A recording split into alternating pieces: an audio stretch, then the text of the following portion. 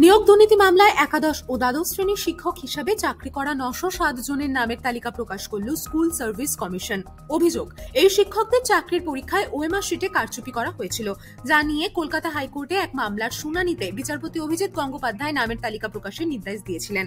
একই সঙ্গে নির্দেশ ছিল এই শিক্ষকদের উত্তরপত্র প্রকাশ করতে হবে। যদিও বিচারপতি অভিজিৎ গঙ্গোপাধ্যায়ের উত্তরপত্র প্রকাশের নির্দেশের উপরে মঙ্গলবার অন্তর্বর্তী স্থগিতাদেশ দিয়েছিল সুপ্রিম কোর্ট। এই ঘটনার প্রেক্ষিতেই বুধবার কমিশনের তরফে ওই নশো সাত জনের নাম ও রোল নম্বর প্রকাশ করা হলো।